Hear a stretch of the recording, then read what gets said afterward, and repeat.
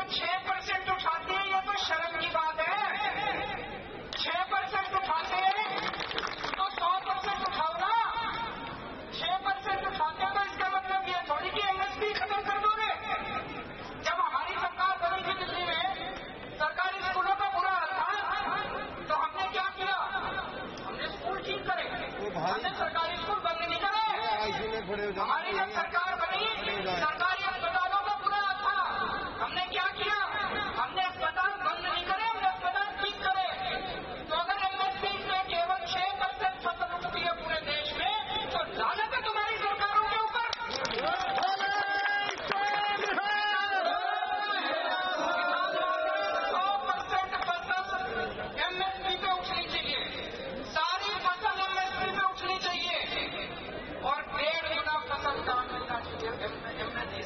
আকাশটাকে এরকম আমি